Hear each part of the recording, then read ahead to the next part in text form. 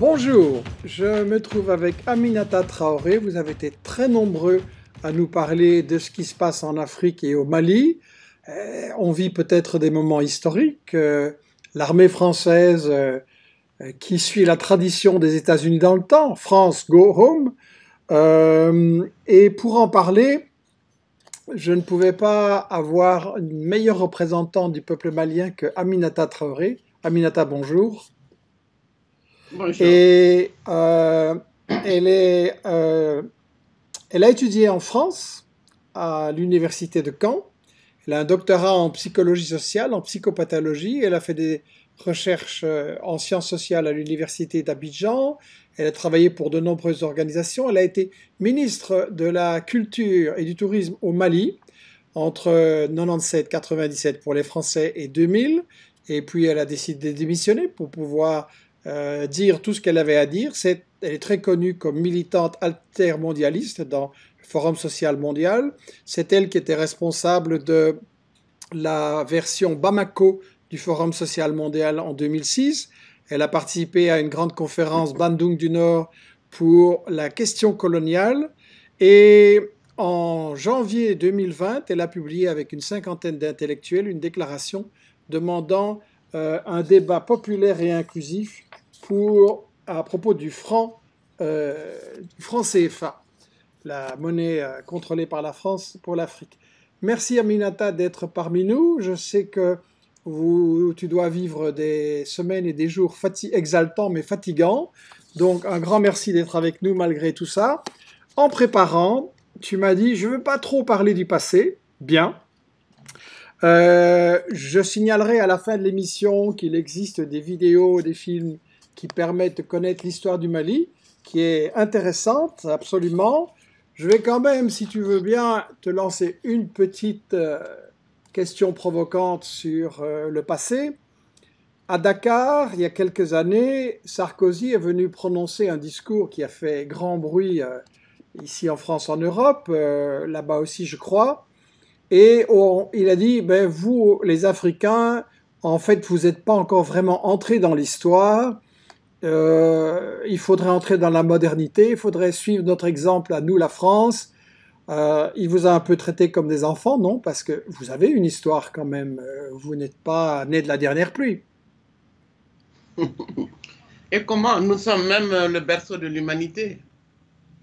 Et du Mali, d'où je vous parle, je crois que je n'ai pas besoin d'insister là-dessus. Euh, ce pays euh, a été celui des grands empires, dont euh, l'empire manding, qui couvrait bon nombre de pays de la sous-région, si bien que la mobilisation actuelle des peuples de la sous-région dans la défense de l'honneur et la dignité du Mali mhm.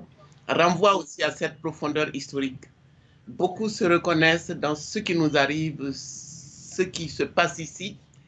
Et nous craignons que cette réalité eh, soit tout simplement annonciatrice eh, de lendemain qui déchante dans le cadre de la mondialisation néolibérale. Mhm. Bien. Donc, on, va, on va parler de tout ça. Maintenant, si je résume encore un petit peu pour provoquer, si on résume la version des médias français, les choses sont assez simples.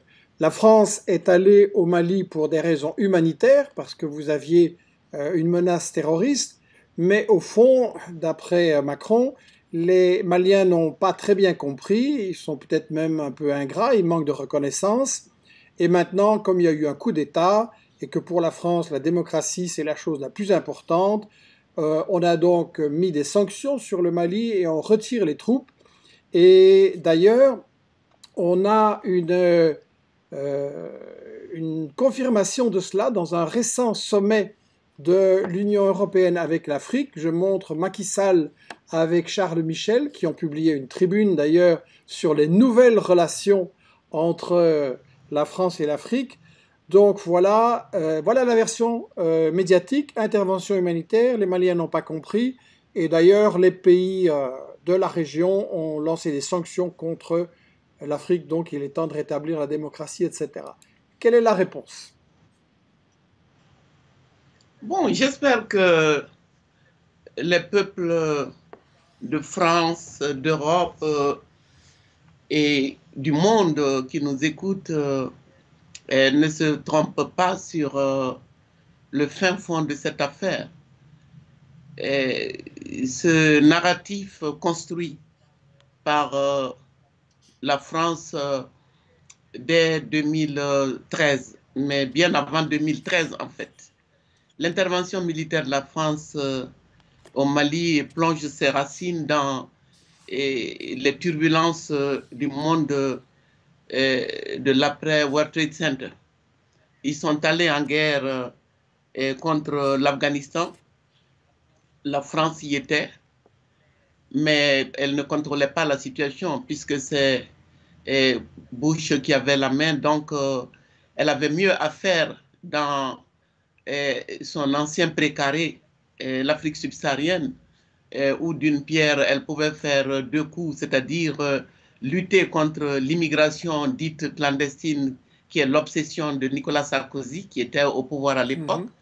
Donc, le père de l'immigration choisit et, décide donc de, faire, de, de venir vers l'Afrique subsaharienne et chemin faisant, de régler à Kadhafi son compte. Kadhafi qui était, disons, faisait obstruction à l'expansion, à l'expansionnisme des Occidentaux et dont la France est en Afrique. Donc moi, je considère que ce narratif de la fameuse demande du président par intérim Diongounda Traoré à l'époque qui était donc euh, nous étions dans une transition après le coup d'État de 2012. Donc, on impute à Diogo Traoré une demande qui a en fait été, euh, disons, réécrite.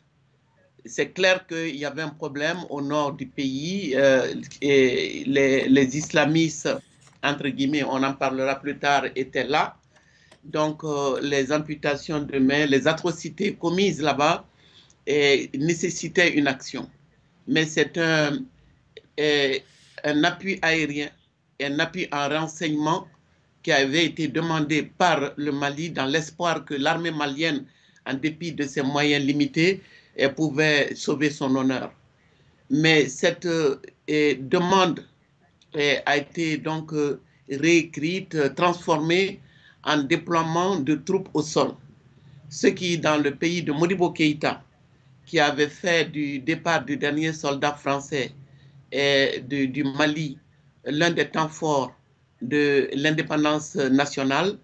De mémoire de Maliens, personne ne peut solliciter, personne ne pouvait s'imaginer un seul instant que la France allait revenir avec armes et bagages au nom de la lutte antiterroriste. Mmh. Toujours est-il qu'à l'époque, l'accueil triomphal dont François Hollande a bénéficié et le fait que au niveau de Tombouctou, d'abord Tombouctou a été libéré sans que, c'est dit dans un documentaire, sans que l'armée française ait attiré un seul coup eh, de, feu, cela veut dire que eh, c'était, il y avait quelques centaines eh, de, djihadistes, mais nous n'étions pas, on était à l'image et de, la situation actuelle où Dieu seul sait le nombre de, djihadistes, en tout cas de présumés djihadistes, euh, je ne sais pas comment les appeler, parce qu'il y a du tout là-dedans.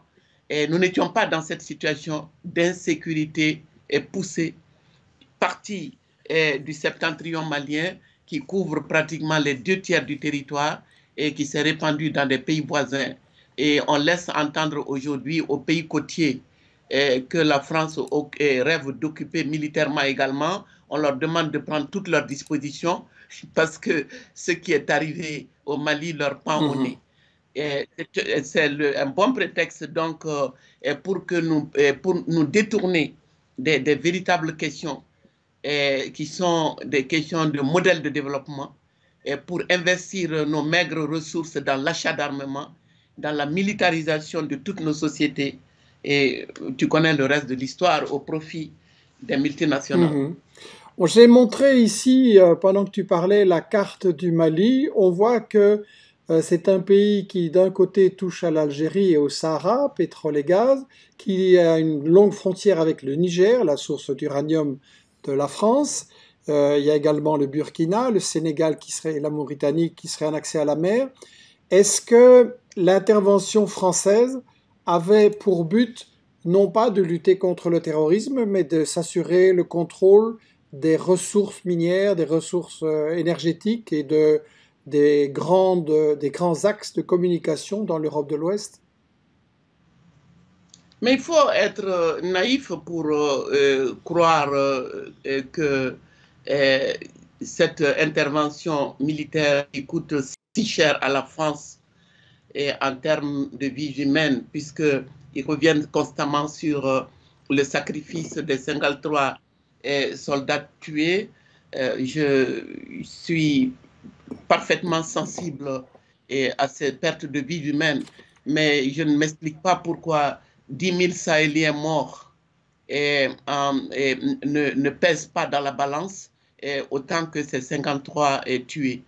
Je le dis euh, en passant, parce que c'est extrêmement important de le souligner, puisque c'est la posture officielle, le discours officiel consiste eh, à verser de l'huile sur le feu en faisant croire aux Français.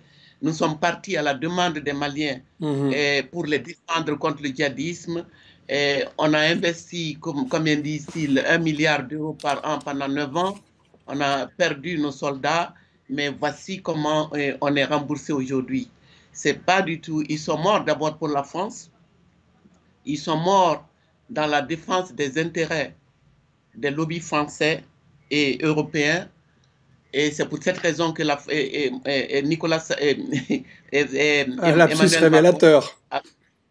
oui, Nicolas Macron a, a, tout fait et n'a eu de cesse d'essayer d'attirer d'autres Européens dans ce guépier et il n'y est pas parvenu, comme l'atteste aujourd'hui l'évolution de Takuba. Il était, il euh, était prévu que 250 soldats belges aillent aussi, euh, euh, pour raisons humanitaires, bien entendu, au Mali. C'était programmé, ça. Oui, mais de toute façon, je crois qu'il y a des Belges parmi les formateurs de l'EUTM. c'est ça qui, c'est tout cela qui, qui nous paraît curieux que tant de présence militaire et des, des, des milliers de soldats les 5000 soldats de l'opération Barkhane, plus euh, les 13 000, je crois, de la MINUSMA, et plus euh, ceux qui sont dans la formation, et neuf années durant, et que nous soyons aujourd'hui confrontés à une insécurité, une situation d'insécurité sans précédent, c'est ça qui est inacceptable. Mhm. J'ai envie qu'on creuse la question du terrorisme parce que tu as parlé de la Libye. En fait, euh, beaucoup de terroristes actifs au Mali viennent de la Libye. Oui, euh, en fait, euh, il est tout le monde, hein, même ceux qui sont de mauvaise foi, admettent aujourd'hui que s'il n'y avait pas eu la violation de la résolution 1973 du Conseil de sécurité par Nicolas Sarkozy, et il était euh, convenu avec le Conseil de sécurité qu'il s'agissait de no-flying zone pour protéger la zone de Benghazi et qu'ils ont transformé cela en mandat euh, de déstabiliser la Libye et de tuer Kadhafi. Parce, Kadhafi, Kadhafi les gênait parce qu'il finançait des projets africains qui permettaient d'échapper à la France et à la Banque mondiale? Non, bien plus que ça. Dit que euh, le, L'ambition de Kadhafi, c'était effectivement eh, d'échapper eh, au diktat du, dollar, des, grandes puissances. Les gens ont, tout compris à travers les programmes d'ajustement structurel, les rapports de force qui étaient parfaitement clairs pour lui et son ambition eh, de faire de l'Afrique un pôle de développement. Et on le lui avait d'ailleurs promis. C'est pour ça que quand je regarde aujourd'hui nos présidents, Macky Sall, et, Emmanuel Macron en train de nous promettre monts et merveilles dans le cadre, soi-disant, d'un nouveau partenariat Europe-Afrique. Je, je, ne peux m'empêcher de penser au sommet Europe-Afrique de 2011 en Libye, où ils ont tout promis à Kadhafi. Mm-hmm. il, il, était convenu qu'ils allaient contribuer au développement de l'Afrique. C'était à Sirte, c'était quelque chose d'extraordinaire. Moi, je me souviens de, des textes de l'époque et quelques temps plus tard, ils l'ont assassiné. Donc les, les, euh, promesses des Français et des Européens sont dangereuses. On va faire quelque chose sur la Libye un, un de ces jours, mais je voudrais qu'on creuse euh, en quoi le Mali s'est lié à, à, la Libye. Parce qu'en fait, il y a, quand euh, la Libye a été détruite, il y a eu des stocks d'armes et des troupes qui sont venus dans d'autres pays de la région, ce qui avait d'ailleurs été euh, annoncé aussi et qui malheureusement a fait le malheur du Mali. Bien sûr, d'abord, euh, il y avait euh, des combattants dans, l'entourage, c'est-à-dire la garde rapprochée de Kadhafi. Parmi eux, il y avait des, des combattants maliens et à qui on a demandé de, de rentrer chez eux puisque Kadhafi n'est plus et que à l'instar euh, du comité, je crois que ça s'appelait le CNT aussi, libyen, qui a été reçu d'ailleurs euh, euh, un peu partout, qu'il n'avait plus d'avenir là-bas. Et je crois que la promesse a été faite et, et aux Touaregs qui faisaient partie de cet entourage de Kadhafi de, de, les aider à créer. Ils voulaient créer l'Azawad et je crois que la promesse leur a été de les aider dans ce sens-là. Créer un État indépendant séparé du, du, Mali. Je voudrais donner une citation qui, je pense, éclaire euh, ce qui s'est passé ensuite au Mali. C'est que ce qui a été caché à l'opinion publique européenne et internationale, c'est qu'en fait, en Libye, l'OTAN a fait une alliance avec Al-Qaïda. Et la citation que je vais lire, c'est l'amiral Stavridis, commandant des forces alliées de l'OTAN en Europe. C'est dans le livre Libye, OTAN et médias mensonges que j'avais écrit à mon retour de, la Libye agressée. Et Stavridis, donc de l'OTAN, disait il y a des douzaines de combattants, d'anciens combattants du groupe islamique de combat libyen, donc la version libyenne d'Al-Qaïda, qui participent aux efforts visant à renverser Kadhafi. Donc, on a, en fait, s'il euh, y a eu tellement d'islamistes, c'est parce qu'ils ont été euh, organisés, financés, armés par euh, les États-Unis, la France, et qu'après, ils ont continué le même cinéma ailleurs. Oui, ajouter à cela, ceux qui sont venus d'Algérie, donc qui étaient installés dans le nord pendant longtemps. Moi, ce qui m'est apparu à partir de, de, ce lieu qui est euh, mon lieu de vie et mon poste d'observation, c'est qu'à l'époque, les, les, les, islamistes qui sont venus d'Algérie, qui étaient au nord du Mali, se sont établis, faisaient leur trafic, ont épousé des femmes, étaient intégrés mais ils ne s'attaquaient pas aux populations, il n'y avait pas de, de charia, ça n'a pas fonctionné comme ça. Mm-hmm. Bon, et à partir de et la, la, la, la, Libye, et lorsque Al-Qaïda au Maghreb islamique est allié au départ avec le MNLA, donc on, on commencé les attaques et qu'il y a eu euh, toutes ces atrocités à ont, été commises. Donc, euh, il y a tout s'est brouillé, tout s'est aggravé, en tout cas à partir de la chute, du, à, partir de, de, la, de, de, de l'assassinat de Kadhafi et de sa déstabilisation. Mm-hmm. Et le Mali est, a été vulnérabilisé parce qu'à l'époque, le président Amadou Toumani Touré eh, a cru bien faire de tendre la main à ceux qui revenaient de Libye je me souviens d'un chèque qu'il a émis. Il pensait vraiment que euh, après le tournant libyen, ils avaient leur place ici et que tout pouvait se passer autrement. Mais finalement, ça s'est envenimé parce que le dessein des puissances occidentales n'est pas du tout et, de, de, pacifier et ni même de laisser cette région du monde entier. Hein, tout se passe comme si nos pays sont trop grands et trop riches pour nous. Mm-hmm. Il faut tout nous diviser. Et ce, projet remonte euh, aux années 58, lorsque l'ancienne puissance coloniale, avant de se retirer de toute façon, si, tant est qu'elle s'est retirée, a, a, mis dans la tête de nos frères du Nord qu'ils n'avaient aucune raison de se laisser diriger par l'État central identifié, considéré comme dominé par les Noirs. Oui. Donc, ils ont... oui. Modibo Keïta, dont tu as parlé, le premier euh, dirigeant du Mali, qui a été renversé par la France, euh, lui, il prônait une grande fédération Mali, Sénégal, voire d'autres pays, en disant qu'en étant une plus grande nation, on pourrait euh, mieux résister et mieux assurer l'indépendance. Et à l'inverse, la France, comme les colonialistes, essaye de fragmenter les pays qui pourraient lui résister. Et donc c'est pour ça qu'il y a carrément un soutien du séparatisme. C'est clair qu'une eh, Afrique unie et forte eh, ne fait pas eh, l'affaire des puissances impérialistes et prédatrices. La manière dont ils avaient structuré les colonies et Afrique, et, Afrique occidentale, Afrique centrale. Et au moment de l'accession de nos pays à l'indépendance, l'idéal aurait été que le maintien de ces grands ensembles.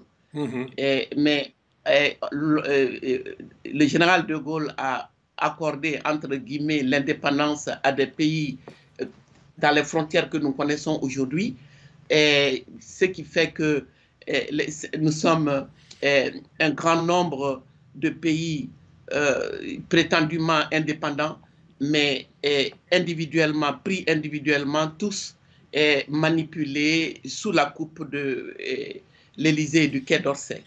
Donc, euh, oui. Alors, justement, euh, la France, tu l'as dit, a mis des moyens très très importants au Mali depuis maintenant neuf années, si je ne me trompe. Comment ça se fait qu'une des plus puissantes armées du monde n'a toujours pas réussi à éliminer une petite menace terroriste? Parce que moi, je ne cesse de me poser la question euh, de qui est l'ennemi. C'est la question que je me pose.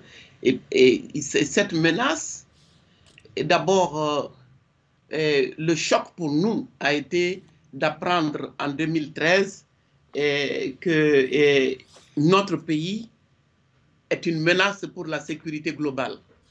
Mhm. C'est sous ce prétexte que cette, ce narratif que nous avons nous-mêmes intériorisé et nous avons cru devoir nous investir dans la lutte antiterroriste.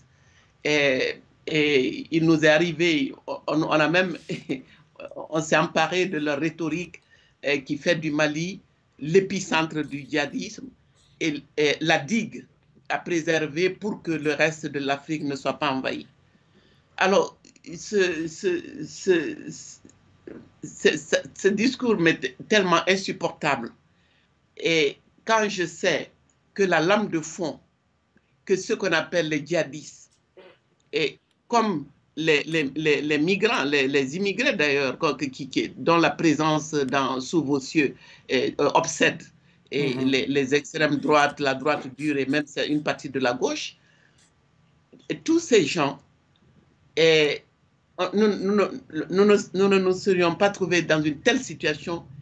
Et si on n'avait pas détruit systématiquement l'État postcolonial, nos économies, on n'insistera jamais assez sur les politiques néolibérales qui ont laminé nos, sociétés. L'immense majorité, moi, j'ai jamais vu venir de l'extérieur de colonnes de djihadistes en turbané en train d'attaquer le Mali. Si chaque jour que Dieu fait, nous comptons plus de djihadistes, entre guillemets, c'est précisément parce qu'ils sont d'ici. Ils sont d'ici pour des raisons qui sont parfaitement claires. Chaque année, la plupart, nos États, je prends le cas du Mali, et c'est des centaines de milliers de jeunes gens en âge de travailler qui sortent de nos établissements, sans compter ceux qui ne sont pas allés à l'école. Toute cette jeunesse ne demande qu'à travailler et à vivre décemment ici. Ce n'est pas possible. Ce n'est pas possible. C'est une longue histoire qui est celle du FMI de la Banque mondiale de l'Organisation mondiale du commerce. Donc, pour toutes ces raisons, pour toutes ces raisons, et nous ne sommes pas euh, au bout de cette affaire tant que nous ne prenons pas à bras le corps, non pas ce qu'ils appellent le développement, parce qu'ils arrivent à la même conclusion que moi en disant que la solution, c'est le développement. Mais moi, j'ai dit, la solution n'est pas euh, le modèle néolibéral. Le néolibéralisme, c'est la guerre. C'est la guerre aux pauvres, c'est la guerre à l'hémisphère sud, c'est la guerre partout d'ailleurs, mais plus particulièrement sous nos cieux, sans mhm. état d'âme. Donc, c'est oh, oh, la, la véritable solution. La solution n'est pas militaire. La solution n'est pas dans l'achat d'armes ni dans la formation de nos militaires. La, la, solution est dans une paix royale reposant sur le respect des droits des Africains aux immenses richesses du continent. Mais ce n'est pas ça qui est, en, négociation aujourd'hui quand nos dirigeants rencontrent vos les vôtres à Bruxelles. Nous ne, parvenons pas à nous dire que ces 30 dernières années, leur mondialisation heureuse n'a pas tenu ses promesses et que c'est panique à bord sous vos cieux et ici. Mais c'est ici qu'ils viendront chercher la réponse, puisque le rapport du Sénat euh, français qui dit que l'avenir et que l'avenir de la France et que l'Afrique, c'est leur avenir. Hmm. Et ces derniers temps, de manière totalement décomplexée, nous entendons dire que la France n'a pas vocation à quitter le Sahel. Et tout simplement parce que ces, ces, ces, États libéraux et ultra-libéraux ont envie de faire feu de tout bois en Afrique. Parce hmm. que tout, ils pensent que c'est à prendre. Hein. Nous sommes comme par le passé une terre vacante à prendre. Il suffit eh, de nous endormir eh, à travers des processus électoraux qui n'ont aucune chance d'être transparents, même si ça l'est. Ce n'est pas là le problème. Puisque l'élu, le meilleur d'entre nous, élu démocratiquement, eh, va devoir composer avec euh, les représentants et des, oligarchies financières qui, que sont la plupart de vos dirigeants. Donc tu es en train de nous dire que les responsables mis en place dans la plupart des pays de l'Afrique francophone par euh, les multinationales qui, convoitent les richesses, ce sont euh, ces responsables-là, européens et états-uniens, qui provoque la pauvreté à cause du pillage et qui donc donne un terreau pour euh, les activités terroristes. Non, je n'en fais pas seulement euh, une euh, question de responsable, j'en fais une question de système. Mm-hmm. C'est le système économique qui veut que la démocratie libérale fonctionne sur cette base-là. C'est une incitation et à l'enrichissement, à la prédation dans les rapports entre nations comme au sein des nations. Mm-hmm. Ceux qui sont élus aujourd'hui, quand on fait, c'est pour ça que c'est totalement indécent de la part de l'État français d'infliger au peuple malien des sanctions financières et économiques sous prétexte que nous n'avons pas respecté la date des élections, comme si des élections bien organisées ont réglé quelque chose ici par le passé. Mhm. Donc, et, quand et puis tout cela se déroule dans une région du monde qui s'appelle le Sahel. Qui peut, tous ces gens qui pleurnichent et, vous me parlez du climat, de des, des, intempéries, tout ce qui se passe chez vous en ce moment. Alors, quand si telle est la réalité de l'heure et l'avenir de la planète, comment peut-on faire de la guerre la solution à des problèmes économiques? Sociaux et politiques créés au Sahel, l'une des régions du monde les plus meurtries par le réchauffement climatique. Comment a-t-on pu nous imposer la guerre comme solution à des maux liés à des choix économiques? Quand on voit la France qui, euh, et l'Europe qui appliquent des sanctions contre le peuple malien, c'est pour le mettre à genoux, c'est pour l'obliger à accepter euh, les dirigeants que Paris a désignés? Non, c'est pour punir d'abord euh, ceux qui sont actuellement au pouvoir. Mm-hmm. Le tort de ces jeunes colonels qui ont renversé le président Ibrahim Boubacar Keïta, c'est de ne pas se soumettre au dictat de la France. Mhm. Parce qu'ils ont fait partie de- des forces spéciales. Ils savent ce que c'est que l'armée. Ils savent non seulement les humiliations de- de- du Mali dans le cadre de cette guerre, mais les humiliations de nos armées. J'ai jamais entendu dire qu'une armée africaine a fait du bon travail dans le cadre de cette guerre antiterroriste. Mhm. Ils sont pré- présentés comme des gens qui font des exactions et la manipulation des opinions consiste à dire que eh, ce sont eux qui s'attaquent aux Peuls et, et aux Touaregs. Donc, euh, en fait, il faut les surveiller, il faut les former. Ils Mhm. sont jamais à la hauteur de la tâche. Donc, si eh, sur la base eh, d'une insurrection populaire qui a eu lieu et qui demandait et qui faisait justement de l'échec de la solution militaire l'affaire du président et ce président s'en va, mais c'est tellement surprenant que ces mêmes soldats soient aujourd'hui dans le collimateur de la même France. Pour quelle raison? Quand Ma- Emmanuel Macron passe son temps à dire qu'ils ne se sont pas contentés de faire un coup d'État, alors que ce premier coup d'État les arrangeait, puisque eh, Ibrahim Boubacar Keïta avait franchi la ligne rouge du dialogue avec les djihadistes, dont la France ne voulait pas entendre parler, et Jean-Yves Le Drian eh, s'est permis de dire que son retour au pouvoir serait eh, irresponsable et dangereux. Donc ce premier coup d'État les arrangeait. Le deuxième coup d'État découle du fait que Emmanuel Macron croyait, après le départ de eh, pouvoir avoir affaire à un personnel politique qui obéit à la France. Mais il se trouve que ceux-là sont restés droits dans leurs bottes et en termes de dialogue avec euh, les djihadistes, qui n'excluent pas, Mhm. mais aussi pour di- dire non à la France dans ce qui, que moi j'ai toujours considéré comme l'unilatéralisme français. C'est l'unilatéralisme de la France de 2013 à ce jour qui a fait sa perte aujourd'hui. Mhm. La question de Barkhane, la chute de Barkhane est, c'est- est liée au fait que toute cette histoire est cousue de fil blanc et faite d'arrogance. Les gens savent qu'on les a trompés. Toi, tu figurais parmi, euh, en 2012, tu figurais parmi les gens qui ont euh, appelé à être vigilants sur l'intervention française. Non, j'ai dit même de dire non à la guerre par procuration. Mhm. Parce que c'est, c'est- quand, quand dans, dans le cadre du mouvement social et mondial, et quand on a lutté contre l'intervention eh, en Irak, et on sait ce que ces guerres veulent dire. On sait ce que signifie la militarisation et de la mondialisation. On sait ce que pèse aujourd'hui et, et et l'industrie de l'armement dans ces guerres. Ces guerres ne sont pas faites pour résoudre les problèmes. Ces guerres sont faites pour reprendre position. Je considère que et tant on ne parle pas suffisamment de- des questions migratoires, pour moi les deux sont liés. C'est-à-dire que les, les, les, les gagnants de la guerre froide procèdent à l'externalisation des frontières, de leurs frontières, en, en, en- en- en s'invitant militairement ici. Mhm. Ils ne sont pas là pour défendre nos intérêts. Ça n'a rien à voir.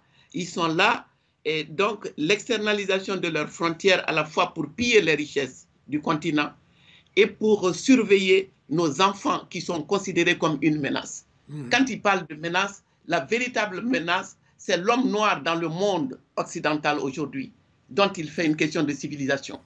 Saïd Bouamama, dans une récente émission Le Monde vu d'en bas sur Investi Action, disait qu'en fait, les dirigeants français, Macron aussi, sont très cyniques parce qu'ils disent on lutte contre le terrorisme, mais en réalité, disait Saïd Bouamama, ils voulaient surtout pas supprimer la menace. Ils voulaient bien lutter un peu, mais ils voulaient pas que la menace tombe et que les Maliens soient libres et puissent s'occuper de leurs autres problèmes.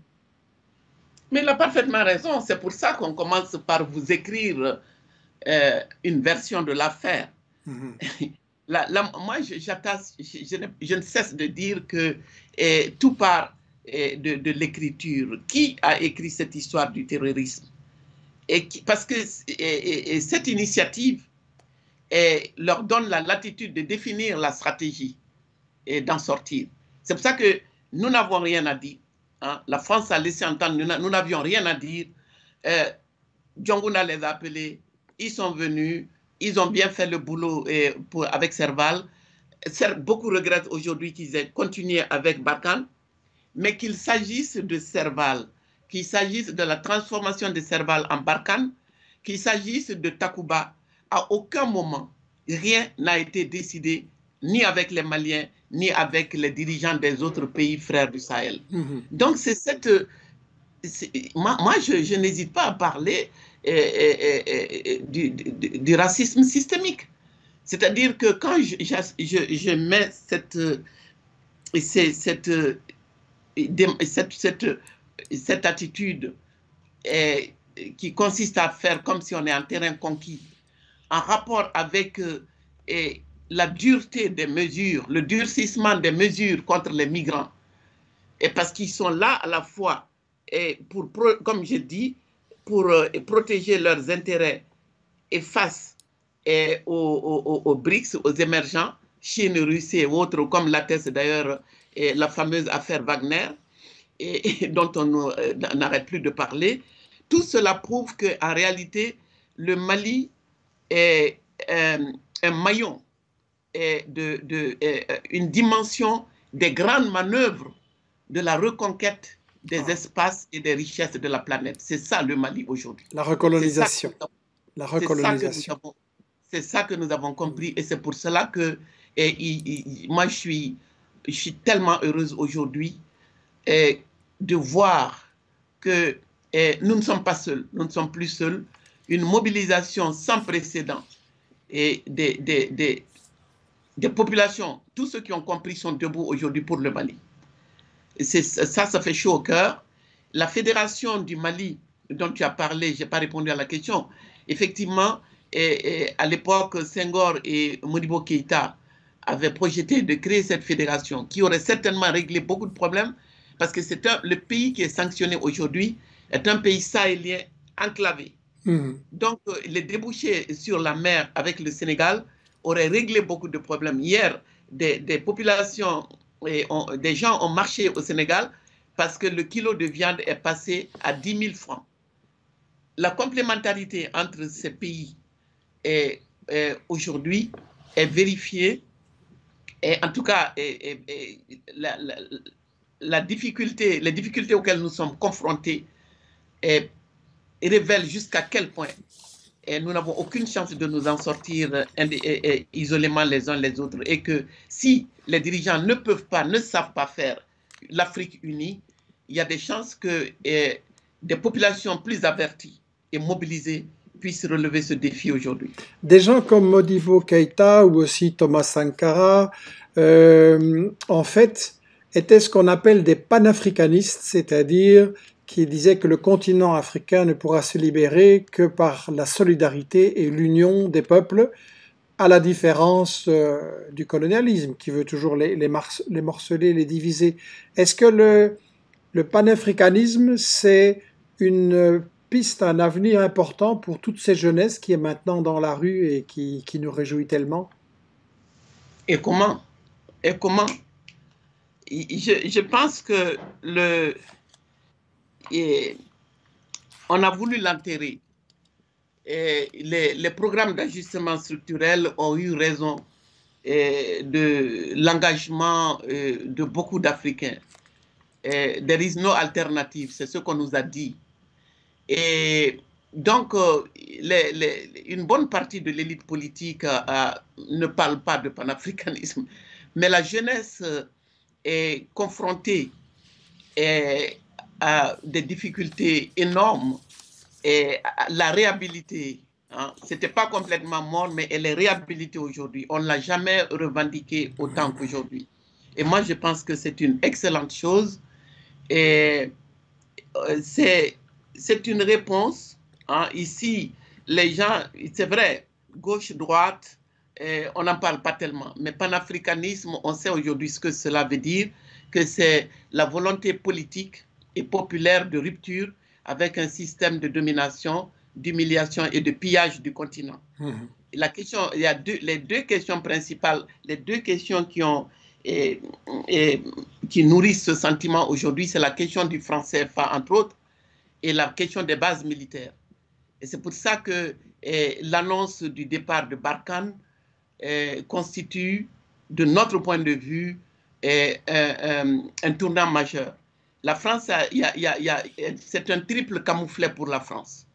Au plan politique, Emmanuel Macron aurait voulu faire comme François Hollande, qui est sorti, qui dit avoir vécu le plus beau jour de sa vie politique euh, au Mali, mais qui est sorti eh, triomphalement de Tombouctou et qui allait déclarer sur toutes les tribunes que voilà, tout s'est bien passé, il y a eu un président démocratiquement élu.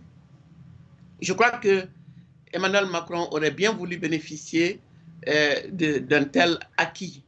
Et aujourd'hui, et à l'heure du bilan. Surtout au, surtout au moment de sa campagne électorale. Mais bien sûr, mais bien sûr. Le Mali, le Mali, l'intervention militaire au Mali était l'une des dimensions de, la de sa politique extérieure qui devait lui permettre, en tout cas, de gagner des points. Mais c'est perdu. C'est perdu. C'est pas parce que les Maliens sont ingrats, c'est pas parce que l'État malien est corrompu. Il y a la corruption comme partout, c'est pas parce que l'armée malienne ne peut pas combattre les djihadistes, mais c'est tout simplement parce que et, le but n'était pas d'en finir avec le djihadisme, mhm. mais euh, au contraire de se maintenir militairement. Et aussi longtemps qu'il le pouvait. Ça a été compris. C'est pour cette raison que les gens ont fait du départ de cette armée française et européenne une exigence. Voilà, donc on se réjouit du retrait français, mais est-ce qu'il ne faut pas euh, mettre en garde? Est-ce qu'ils ne vont pas aller euh, un peu plus loin au Bénin ou ailleurs et être encore plus agressifs à partir de leur base? C'est clair. C'est clair que euh, les technologies leur permettent aujourd'hui d'attaquer d'où ils veulent, à partir d'où ils veulent. Mais ce qui est je crois qu'il devrait faire attention parce que chacun se souvient le, le, et les, ce qui s'est passé avec le convoi de Barkhane au Burkina Faso, à Kaya, à Terra, au Niger, et prouve que c'est une lame de fond. C'est pas, comme ils disent, une junte illégitime et irresponsable qui agit au Mali. Non. En fait, ceux qui sont au pouvoir aujourd'hui au Mali prêtent attention, savent, c'est moins eux que leur base, c'est moins eux. Moi, je ne je, je, suis pas le genre qu'on peut manipuler, qu'on peut mettre dans la rue, mais je suis sorti ce jour-là, le 14, pour dire non aux sanctions de la CDAO et que la France dégage et nous colle une paix royale pour que nous puissions vivre dignement et décemment ici, puis surtout qu'on ne peut pas aller là-bas. Donc, moi, je pense que, et les, ils ont les, les, mécanismes de défense mis en place consistent à dire que cette jeunesse, hein, ces centaines de milliers de jeunes, il n'y a pas que des jeunes, mais ils sont majoritairement jeunes, qui sont dans la rue en train de dire France dégage, sont manipulés par la Russie et qu'il n'y a que, que, tout est manipulation. Oui, justement, ici on parle tout le temps de Wagner et les mercenaires russes et donc, on donne une image d'un Mali qui est euh, manipulé par les méchants russes. Oui, moi je dis que à vous d'en tirer les enseignements quand vous savez aujourd'hui, quand on sait, c'est tel tout ce qui se passe aujourd'hui, euh, c'est édifie. Et la, question de, de l'Ukraine qui est à l'ordre du jour aujourd'hui. Quand moi je vois Macron prendre son, euh, bâton de pèlerin, je ne savais pas qu'il en avait un, pour faire la paix en, Ukraine, alors qu'il a tout fait pour que eh, l'escalade soit ici. L'escalade a consisté à dire non, pas de dialogue, non, eh, pas de dialogue avec les djihadistes, même s'ils sont maliens, et non, les élections auront lieu à telle date, non, Wagner, nous, nous il y a eu, nous n'avons eu droit qu'à des lignes rouges. Toutes les lignes rouges ont été franchies la France est tombée dans cette situation de disgrâce aujourd'hui grâce à Emmanuel Macron qui se veut faiseur de paix à, Varsovie. C'est vous dire jusqu'à quel point c'est deux poids, deux mesures. C'est-à-dire et, plus jamais ça chez nous, en Europe, mais toujours ça chez les autres, les mmh. différents, les peuples inférieurs qui peuvent mourir dans le cadre de la défense de vos intérêts. Je pense qu'on a bien compris le message que, enthousiaste que tu adresses aux jeunes Africains pour la, pour la révolte, pour l'indépendance.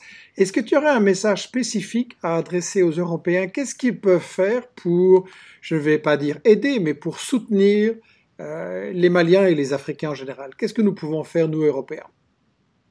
Rien. Vous savez, moi, le, le fait d'avoir et, d'être euh, partie prenante du mouvement social mondial m'a considérablement aidé.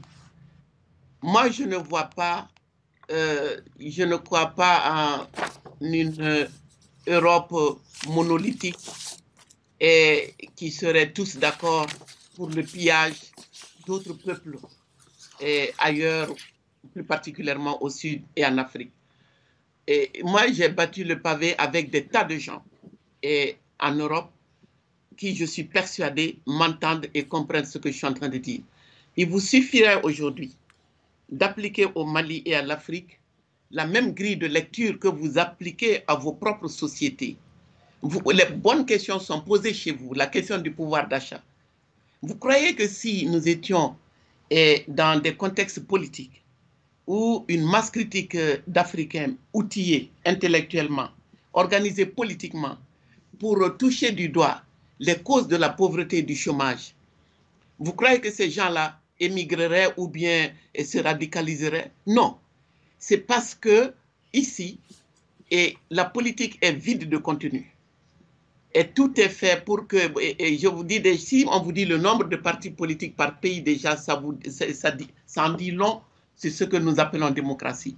Donc, et quand moi je regarde les, les, les, les gilets jaunes et tous les mouvements sociaux, toutes les mobilisations et contre les vaccins, les passes sanitaires et, actuellement au Canada, un peu partout, les questions qui sont posées chez vous et dont la plupart, la plupart de ces questions trouvent leur explication dans un système économique, en fait, une, expression du capitalisme, le néolibéralisme. le néolibéralisme est nommé et le capitalisme mondialisé et financiarisé et ses ravages sont connus. Mais pourquoi personne n'applique ce diagnostic quand il s'agit de l'Afrique? Quand il s'agit de l'Afrique, on réduit tout cela à la corruption, à la corruption qui serait dans l'ADN des Africains. C'est clair qu'il y a de la corruption, mais qui corrompt? Quand quelqu'un dit, si vous ne formulez pas les choses de telle manière, voici nos conditions pour que nous puissions financer le développement, la corruption commence par là. Tous ceux qui acceptent de jouer ce jeu auront droit à tout ce qu'ils veulent comme capitaux. Tous les opposants qui ne tiennent pas ce discours n'auront rien, y compris les associations, tous les médias. Tous ceux qui ne s'alignent pas sont exclus. Alors qu'on arrête cette, je sais pas, cette mystification, la, la question de la gouvernance, la mauvaise gouvernance est dans l'ADN du système mondial. Mhm. La corruption est voulue. C'est ainsi qu'on veut que nous soyons pour que eux ils puissent continuer à donner des ordres. Mais c'est toutes ces questions que nous nous voulons poser maintenant au sujet du Mali. Quand je dis que le Mali, le Mali nous parle à nous-mêmes, le Mali parle au reste de l'Afrique, le Mali devrait pouvoir parler à la France et à l'Europe en disant, puisque nous sommes dans le même bateau, ayez l'honnêteté intellectuelle de poser à notre sujet les mêmes questions que vous posez au sujet de vos sociétés. Comme, ça, il n'y aura pas d'extrême droitisation, il y aura moins de migrants qui sont en train de mourir en mer et dans, dans les geôles et en Libye. Il y aurait surtout moins de ce qu'on appelle les djihadistes. Le djihadisme n'est pas une cause. Beaucoup disent que c'est un mode opératoire. C'est l'une des conséquences de la destruction du tissu social, économique et des écosystèmes. On ne parlera jamais assez de la dimension de l'écologie. Parce que les, ce qui se passe au nord du Mali, cette région aujourd'hui, qui au moment où je vous parle, pas plus tard qu'aujourd'hui, on est en train de dire qu'il y a 10 millions de personnes qui sont au bord de la famine.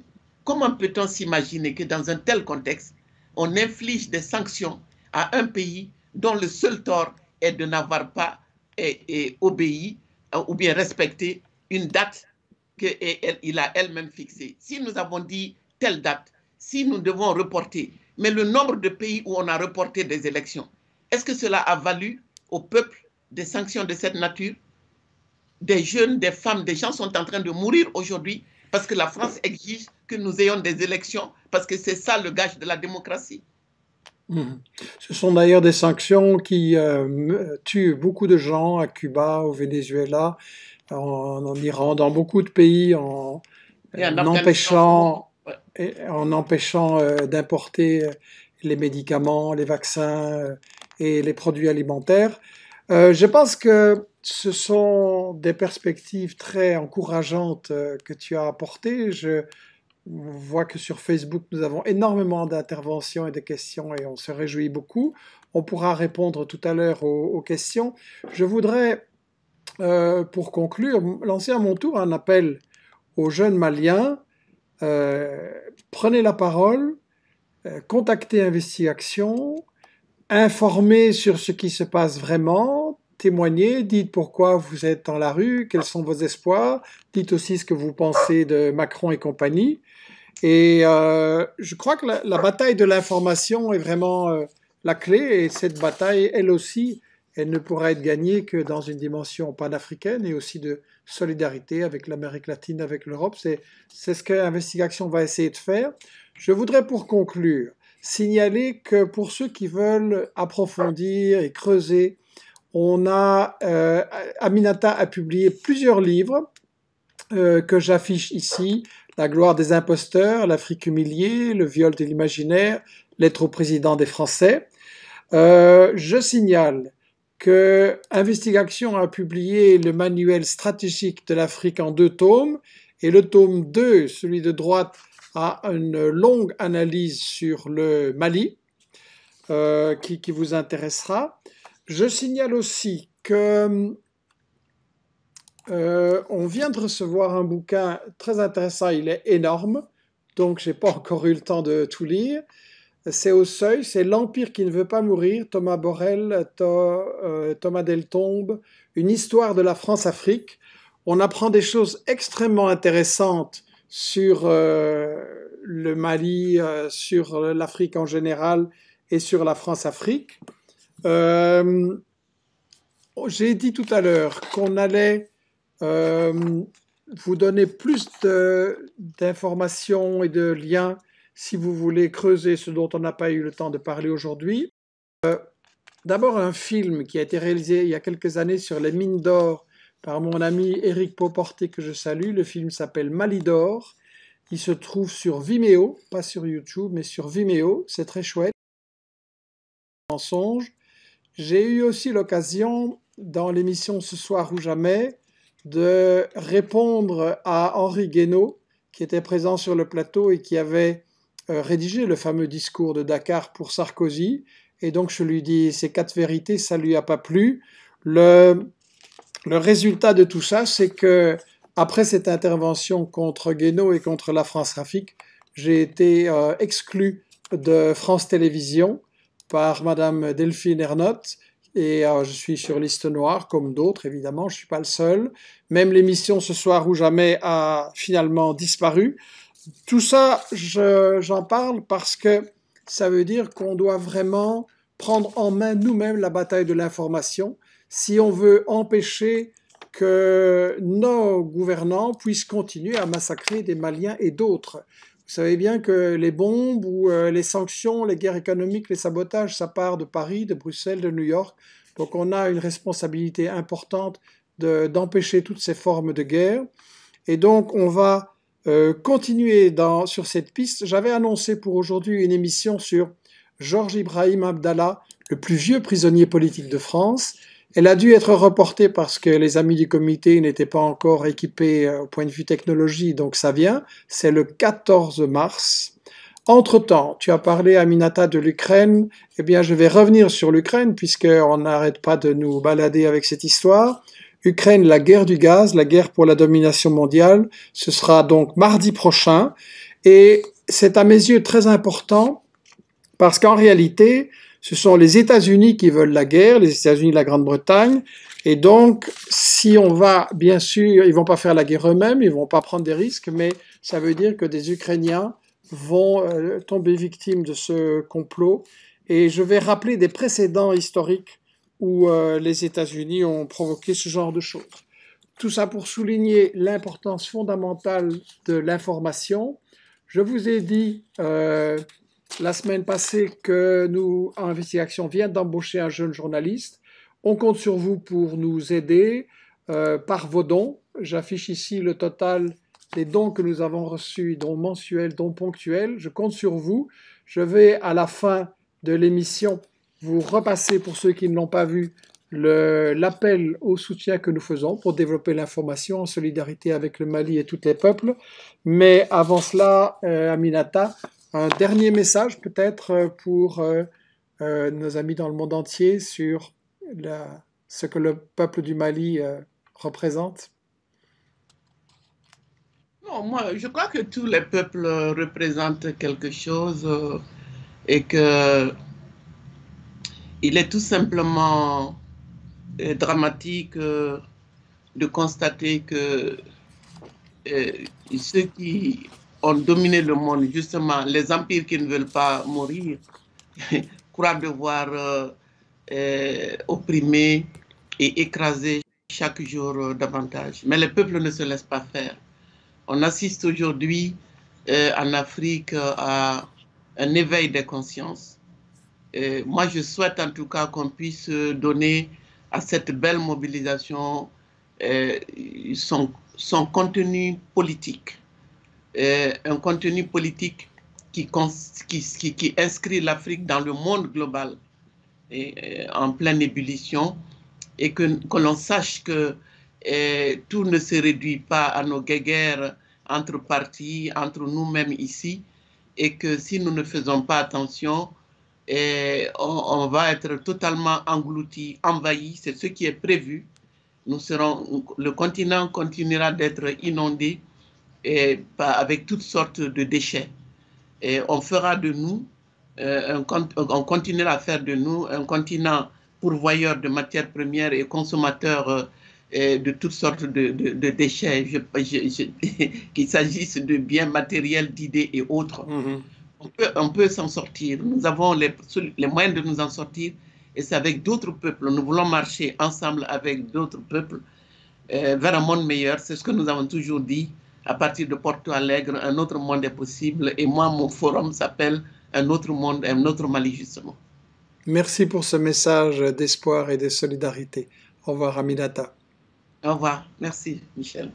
Chers amis, j'ai le grand plaisir de vous présenter Robin Delobel, comme vous le savez, Investigation a décidé de renforcer son travail journalistique, son site, et nous avons reçu plusieurs candidatures. Le choix n'était pas facile, mais Robin a vraiment des qualités euh, importantes.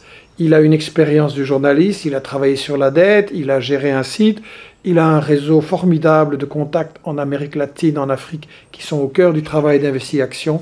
Donc c'était vraiment le bon choix. Merci Michel. Je suis très content de rejoindre l'équipe d'investigation dont j'ai découvert le travail durant mes études de journalisme à l'ULB à travers euh, des films comme Bruxelles-Caracas, mais ensuite euh, bah, d'autres comme Bush le cyclone. Et puis bah, j'ai suivi les publications, autant les livres que bien les écrits bien sûr sur le site internet, avec des travaux formidables comme euh, ceux de Ludo De Witt, de Saïd Bouamama, des livres aussi comme La stratégie du chaos. Et j'ai découvert notamment à travers ces, publications, ce que signifie vraiment la communauté internationale, par exemple à travers la crise ivoirienne qui me touchait beaucoup en 2010-2011. Euh, je suis très content de, rejoindre cette équipe pour faire un travail qui est euh, des entretiens, des interviews avec des personnes de différents continents, quelque chose que j'ai un peu l'habitude de faire via mon expérience. Euh, c'est aussi toujours dans une optique de vulgarisation, parler à un public le plus large possible et pas à un public trop averti, trop trop intellectuel, on va dire. Et euh, voilà, aussi travailler sur des thématiques qui, qui me sont très chères, comme les questions d'extractivisme et multinational, euh, déferlement technologique, euh, les luttes pour les réparations, les, questions de dette coloniale. C'est pour ça que je, suis content de travailler avec l'équipe et, et, enrichir ce travail. Alors pour embaucher Robin, nous avons fait appel à vous La campagne a bien démarré, mais il y a encore du chemin. Donc si vous n'avez pas encore souscrit un don ponctuel ou mensuel régulier, merci de le faire. Si vous l'avez fait, c'est le moment de parler à un, deux, trois amis pour les appeler à rejoindre la communauté des amis d'investigation. Nous sommes en train, avec Robin, avec Grégoire Lalieu, de préparer plusieurs projets qui vous rendront votre site encore plus utile au quotidien parce que l'info c'est un droit. Merci à vous et bienvenue Robin.